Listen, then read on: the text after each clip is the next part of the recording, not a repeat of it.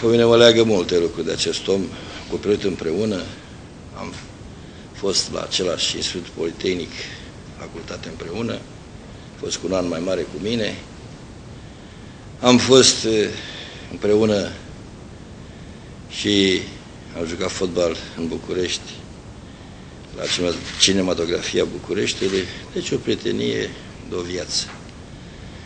Am lucrat la IMUG împreună, am fost colegi, el a fost șeful producției acolo. După aceea, în administrație, el a fost, așa cum spune domnul Roșu, o perioadă de început primar. După aceea a fost președinte al județean. Faptul că am fost în diferite partide, a mai fost și lucruri poate mai neclare între noi, dar în orice caz a fost un om de mare valoare, un băiat deosebit de bine pregătit, un om extraordinar. Sigur, un om uh, uh, cu ideile proprii, era greu să-l miști de la ideile lui. Uh, susținea mereu uh, cu, multă, cu mult patos ideea lui. A fost un om care, în general, n-a deranjat, n-a supărat. Această boală nenorocită pe care nu vreau să îi pronunț nici numele, l-a răpus. A luptat mult pentru a putea uh, continua viața. Pot să spun că numai datorită acestor eforturi s-a întârziat acest moment.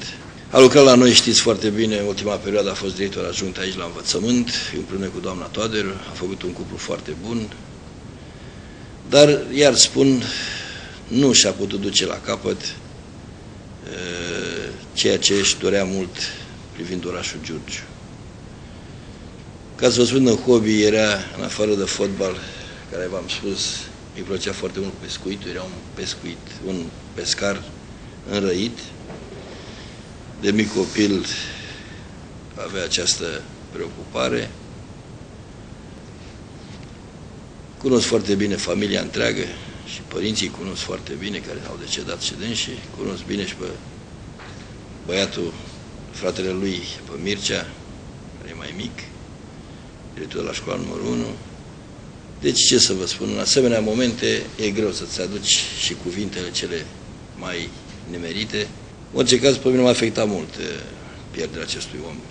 Vă spun în suflet, pentru că eu i-am urmărit toată evoluția lui de când i-a apărut această boală și am făcut multe lucruri bune pentru el, dar, ce să zic, tânza dar totul, pentru că asta este o boală care e greu să crezi că ai vindecat-o. Singurul lucru este posibil să crezi că ai amânat-o, ai amânat-o mult mai mult și ai luptat cu ea.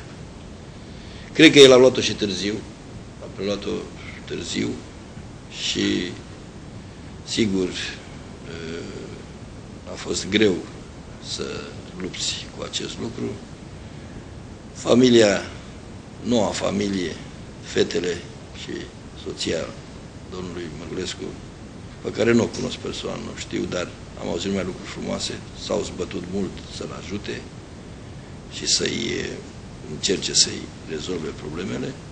Îmi pare nespus de rău că în ultima perioadă a avut mari probleme, mari dureri, mari necazuri. Și, așa cum îl știți, a răbdat mult și a luptat enorm. Sute de colegi și foști colegi din primăria Giurgiu și Consiliul Județean, prietenii și rudele s-au strâns astăzi la Catedrala Episcopală a Dormirea Maicii Domnului pentru a-i aduce un ultim omagiu celui care a fost Nicolae Mărculescu. Plecarea acestuia lasă un gol în sufletele celor care l-au cunoscut. Dumnezeu să-l odihnească în pace.